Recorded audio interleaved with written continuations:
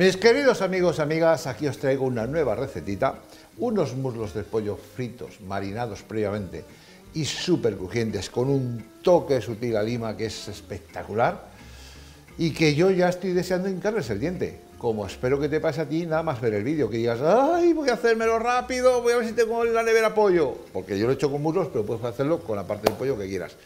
Bueno, pues eso, que espero que te guste, que me des el like, comentarios, comenta en los vídeos, por favor, sobre todo diciendo, oye, pues me ha gustado o no me ha gustado, o yo haría esto, yo haría lo otro. En fin, comentarios que es importante y tráete a tus amigos, que los voy a tratar muy bien.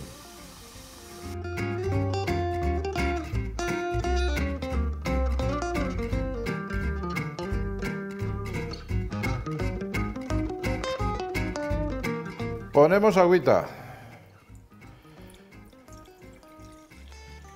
Hombre, y si nos sobra, que nos sobre, no pasa nada. Pero esto tiene que estar, esto tiene que estar bien.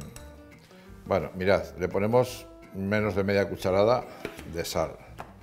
Y ahora tenemos que ir añadiendo harina hasta que el marinado se nos quede perfecto. Por lo pronto, le vamos a poner una buena cantidad. A ver, le voy a poner ya las especias. Cilantro. Esto es un poquito al gusto. Si a ti te gustan otras especias, le puedes poner otras, ¿eh? sin problemas. ¿Por qué le pongo yo cilantro? Bueno, pues porque eh, a mí me sigue mucha gente, ve mis programas mucha gente de América, y en América el cilantro pues es una cosa bastante, bastante común de utilizar. Pimienta negra molida, lo mismo, ¿eh? Estas cosas son al gusto vuestro, ponerle más o menos cantidad. Y luego la cayena. La cayena ya, esto ya es un poco voluntario. Yo voy a poner tres cayenitas pequeñas, ¿eh? Que las voy a cortar así para intentar que esté bien repartidito el picante. Ahora, tendré eh, las yemas de los dedos súper picantes. El otro día se me ocurrió ah, tocarme un ojo después. Madre mía, qué picores de ojo tuve, pero rato y rato. Bueno, ahora lo que tenemos que hacer es disolver la harina perfectamente con unas varillas. Las mezclamos con el agua. Agua bien fría, ¿eh? de esta manera se nos va a quedar más crujiente. Cuanto más, es más, como esto va a estar ahora en la nevera, aún se nos va a quedar mucho más crujiente. El marinado o el rebozado, vamos a llamarlo así, porque no sería un rebozado típico, de harina con agua fría, ¿eh? sale fantástico luego de, crujiente. A esto le tenemos que dotar de una textura cremosa, digamos, que pringue y que no sea acuoso. Yo creo que, mira, más o menos le falta nada, un, puntito, un puntito más de harina, no le falta más, ¿eh?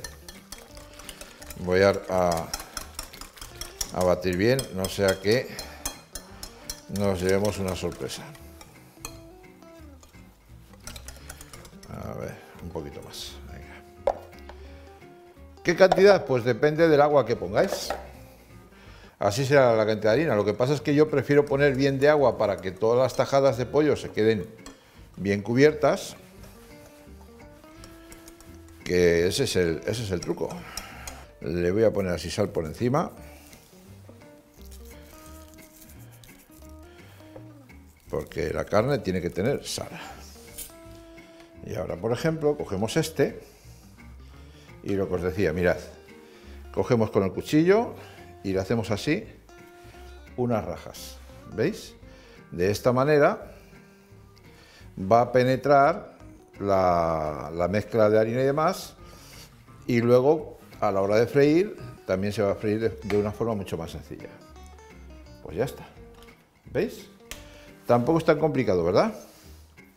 Un par de rajas así y un par de rajas a la contra. A ver, esto ya está... Es que no quiero mancharme las manos. Ahí. No quiero mancharme las manos. Así. Vale, perfecto. Bueno, pues esto ahora se tapa con un papel de estos film transparente, que yo también podría haber utilizado los boles que tengo de acero inoxidable con tapa, herméticos, fantásticos. Podría haber utilizado eso y me hubiera ahorrado todo este paso, porque ya tiene su tapa. Bueno, pues nada, amigos, amigas, una horita mínimo la nevera y después ya freiremos este pollo que tendrá todo su saborcito. ¿Eh? A la nevera. Ya lo hemos tenido marinando, ha estado su buen rato en la nevera. Como podéis ver, incluso se puede apreciar que lo que es la harina con, el agua y demás, pues sea, en fin, que se separa un poquito, pero no pasa nada porque la parte de abajo sí que está perfecta. Y en estas historias siempre tenemos la opción, a ver, si lo ponemos así en el aceite vamos a tener algún que otro problema. Entonces siempre se pringa un poquito así con harina, ¿eh? se sacude así y ya tenemos neutralizado el tema del líquido. Está, el aceite está un pelín frío todavía para lo que necesitamos. A ver, que escurra bien. Y ahora aquí vamos a rematarlo. La harina húmeda siempre tiende a coger menos aceite. Y ahora sacudimos la harina y ahora a la sartén. Bueno, esto para no arriesgarme a que me salte, ya sabéis que el pollo, el conejo, estas cosas son traidores ¿eh? y de repente te hace ¡pum! y te salta el aceite y te puedes quemar, ¿eh? ya sabes cómo van estas cosas. Pues ¿qué es lo que voy a hacer? Lo voy a tapar. Voy a freírlo tapadito a un fuego más bajo y así, perfecto. Bueno, lo tapamos y ahora estaré pendiente porque evidentemente esto hay que dar la vuelta. Le voy a poner al 6 y voy controlando. Esto ahora de aquí a poco hay que dar la vuelta, pum, pum, pum, pum, así, hasta que esté el pollo perfectamente frito. A ver, no sé cómo deciroslo. Esto tiene una pinta de estar no crujiente. Lo siguiente, qué barbaridad, qué pinta más buena tiene. Voy a escurrirlos un poquito así, que se, que se desgrase un poquito todavía. Y ahora ya, mientras pongo esos a, a freír, os presento el plato final que le vamos a dar el golpe de gracia, que no sabéis cuál es todavía porque no lo he anunciado. Es una cosa que se me ha ocurrido, según lo estaba haciendo, estaba diciendo, estaba pensando yo, ¿cómo podría hacer que esto estuviera más refrescante? Pues ya lo vais a ver ahora. ¡Qué súper crujiente! ¡Qué maravilla! Uy, y además lo que quema ahora mismo. Bueno, pues aquí está el truco. Mirad.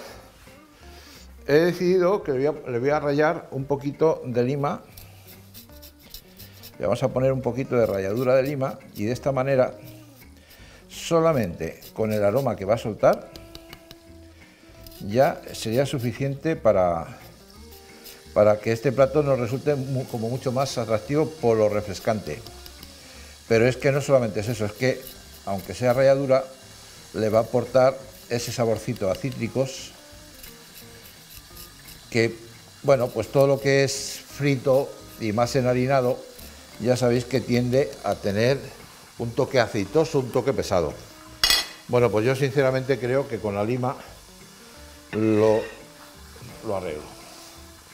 Es un toque sutil. A ver, que no tienes lima, utiliza limón.